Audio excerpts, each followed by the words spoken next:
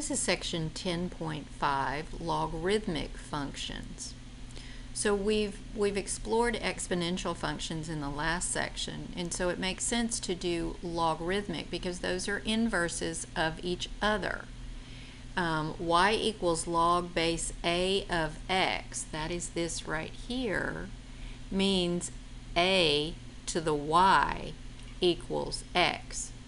So a logarithm is just a shortcut. It's about exponential. All right, and so log form means you have log of base of the argument equals the exponent. Exponential form, same pieces, base to exponent equals argument.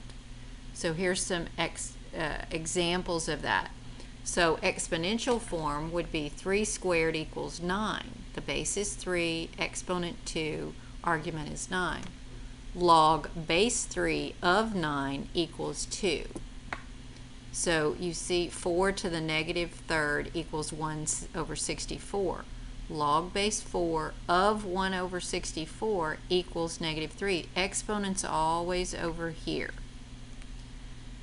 So let's look at this picture. It talks, it shows you f of x equals 2 to the x. That's an exponential function log base 2 of x over here. Well, remember that inverses have to be symmetrical about y equals x.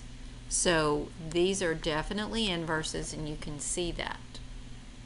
You need to remember that you cannot take the log of 0 or a negative number. So if you try that on the calculator, you would get an error.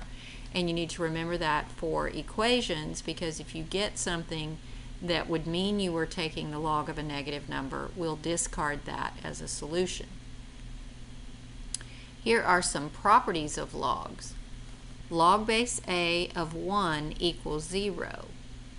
Log base A of A equals 1. Remember your exponents over here? So A to the 0 power is 1. That makes sense. A to the first power equals A product rule says if you have two individual logs with the same base, you can write them as a single log of a product, log base A of m times n. If you have two separate logs subtracted and the bases are the same, you can write it as a single log of a quotient. The power rule says log base A of m to the r the power can come to the front and that gets rid of that being up in the exponent part can come to the front. The change of base formula. When we want to do something on the calculator, we can't, we don't have a base 5 key. On your calculator, your log key has a base of 10. But if you needed to find log base 5 of 63, we don't have a base 5 key. So the formula says take the log of the argument and divide it by the log of the base. So we would do log of 63 divided by log of 5. Here I've shown you how to do that on the calculator and the exact keys that you hit are listed there.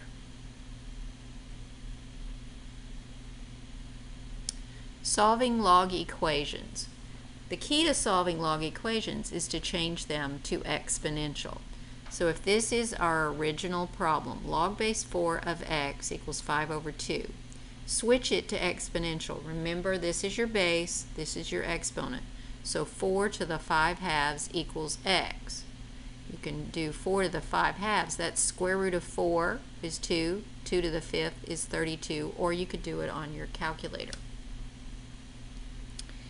In this equation, before we change it to exponential, we need to try to write it as a single log. Remember, if we're subtracting, we can write it as a quotient. So this is log base 2 of x over x minus 1. Now change it to exponential. Base to exponent. 2 to the first equals x over x minus 1. Multiply both sides by x minus 1. So if I do that here and here, I've now got 2 times that equals x because these cancel out. All right, so 2x minus 2 equals x. Subtract 2x, that gives you a negative x here equals negative 2. Divide by negative 1, you get 2 equals x. All right, let's try this one. We want to combine those into a single log, and that means we'll have log of this product, these two. We have an understood base of 10. So that's the log of x squared minus 3x. Understood base of 10. So when I switch it to exponential, 10 to the first equals x squared minus 3x. That, then I'm going to subtract the 10. That gives me x squared minus 3x minus 10. Factor that, factors nicely to x minus 5, x plus 2. That gives me x equals 5 and x equals negative 2. Let's look back in our original. We're taking the log of x. If I plug in negative 2, I would be taking the log of a negative number. I can't do that. So I discard that one and my only solution is x equals 5. Okay? So that's solving log equations. For exponential equations, we did some in the previous chapter where we made sure the bases were the same and we only had problems in which that worked. But we're going to encounter some where we can't make them be the same bases. So we're going to use two rules ln of u to the r is equal to r ln u. That's that power rule. And ln is a log, a natural log. Or ln of e to the u is equal to u. The ln and e cancel each other out. All right, so let's try that. This one, 3 to the x equals 5. We can't make that 5 be a power of 3 with 3 as a base. So what we do is take the natural log of both sides. So I've got ln of 3 to the x equals ln 5. This is just a number. ln 5, if we did it on the calculator, it's a number. So that power rule, the one right above, this guy, says, okay, that x can come over here. And we need that to happen. We cannot solve for that x when it's up in the air. So x ln 3 equals ln 5 divide both sides by this ln 3. So if I do that here, ln 3 and ln 3. So x equals, get rid of that, x equals ln 5 over ln 3. You can do that on your calculator. And if we bring that up, so I hit ln 5, close parentheses, divided by ln 3 close parentheses, enter. So approximate, this is exact, approximate is 1.465. This is exact. If you are asked for an exact answer, you leave it with the ln there, ln in your answer, but approximate is here. All right, this one. 5e to the 0.01x equals 9.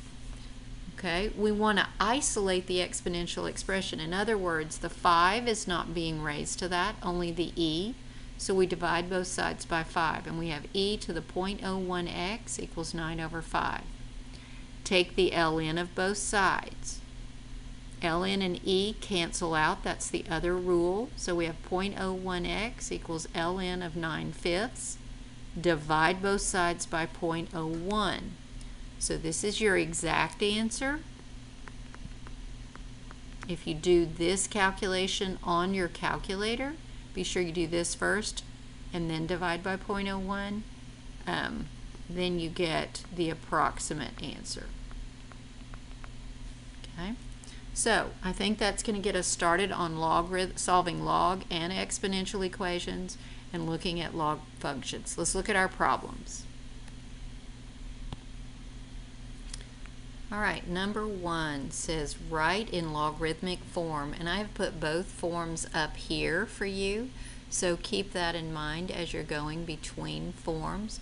This is your log form, this is your exponential form.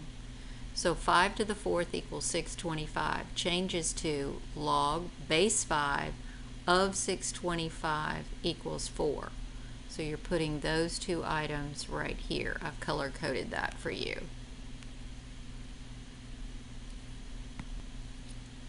Number two is the same way. We are converting to a log equation. 5 to the negative 3 equals 1 over 125. Log base 5 of 1 over 125 equals negative 3. convert to exponential. Well, there's an understood base here of 10. So 10 to the negative 4 equals this. So the 10 to the negative 4 is going in the box.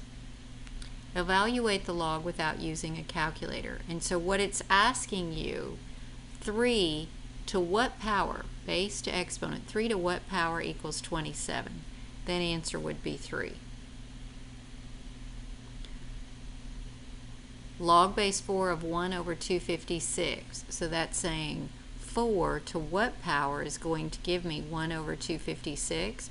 Remember when we see fractions like that over here, we know that's going to be a negative number, and 4 to the fourth would be 256, so 4 to the negative 4 would give us this. ln of e to the fifth so the answer of that, remember, ln of e to the x equals x. So our answer would be 5. All right. Log base 5 of 2k. Remember, this is a product. So if we're going to write this as a sum or difference, we're going to make this a sum because a product comes back to a sum if you're expanding. So this is log base 5 of 2 plus log base 5 of k. Use natural logs to evaluate the log to the nearest thousandth. Log base 8 of 10, we're going to use the change of base formula. Log of 10 over the log of 8. Do that on the calculator and you get this. It says round to the nearest thousandth. So that would be 1.107. All right, number 9. Log base 4 of 5x minus 3 equals 2. Changes to exponential, so you have 4 squared. 4 to the second equals 5x minus 3. So that's 16 equals that. Add 3, so 19 equals 5x. So 19 over 5 equals x. All right. Solving this log equation. Alright, so we have log base 2. These were added, so we're going to make this a product. And then we're going to multiply these out. x squared plus 10x plus 21. Then we're going to switch it to exponential. And so that becomes 2 to the fifth equals this. 2 to the fifth is 32. We'll subtract that over there. So x squared plus 10x minus 11. And we factor that, we get x plus 11, x minus 1. So x is negative 11, x is positive 1. But we cannot plug in negative 11 to either of those because you would be taking the log of a negative value in the parentheses. So we only have x equals 1. Okay number 11. Here we have 5 to the x equals 10. So we're going to take the ln of both sides. When we do that, we have ln of 5 to the x equals ln 10. Use the power rule, x comes to the front. We then divide both sides by ln 5, so x is equal to ln 10 over ln 5 we do that in the calculator and we get the approximate um, of 1.430 and a bunch of decimals. It says four decimal places, so we'll round it to this. Number 12. e to the x minus 2 equals 15. You again take the ln both sides. The e and the ln are gone here. x minus 2 equals ln of 15 add 2 to the other side. So in your calculator, you do ln of 15 and you add 2. You get 4.7081. Find the domain of this one. Since you cannot take the, the natural log of a negative, then this thing has to be greater than or equal to 0. So x squared minus 16 is greater than or equal to, actually, Actually, I'm saying that wrong. It can't be equal to 0 either. So we're going to erase that equals there. I don't know why I had those there. So we have x squared minus 16 has to be greater than 0. Um, so x squared has to be greater than 16, x has to be greater than 4, or less than negative 4. So that's what happens there. So we have that answer in 13. And I think that is the end of our problems for um, section 10.5.